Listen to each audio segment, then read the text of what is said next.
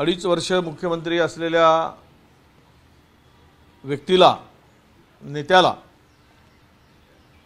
सत्ता मिळूनही सत्तेच्या सर्वोच्च खुर्ची मिळत नाही त्यावेळेस चेहरा पडलेला दिसेल.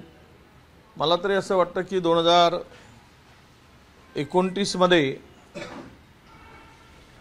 हे जे दोनही चेहरे आहेत उपमुख्यमंत्री पदाचे किंवा शिवसेना आणि राष्ट्रवादी अजितदादा आणि एकनाथजी शिंदे मला वाटतं यांची उपयुक्तता आता संपल्यात जमा झालेली आहे. एबीपी माझा. उघडा डोळे बघा नीट.